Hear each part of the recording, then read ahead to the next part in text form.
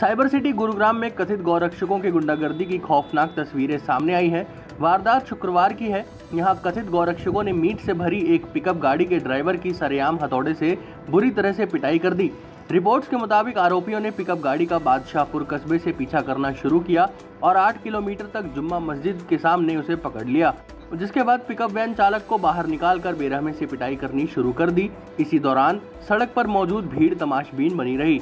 आरोप है कि सोहना से बीजेपी विधायक संजय सिंह भी मौके पर मौजूद आरोप है कि सोहना से बीजेपी विधायक संजय सिंह भी मौके पर पहुँचे, लेकिन वो भी घायल को सड़क पर पड़े देखते रहे। बाद में पुलिस ने पीड़ित को अस्पताल पहुँचाया।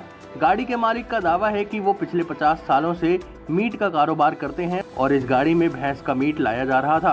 पुलिस ने कथित गौरक्षकों के खिलाफ केस दर्ज कर मीट का सैंपल जाँच के लिए लैब में भेज दिया है।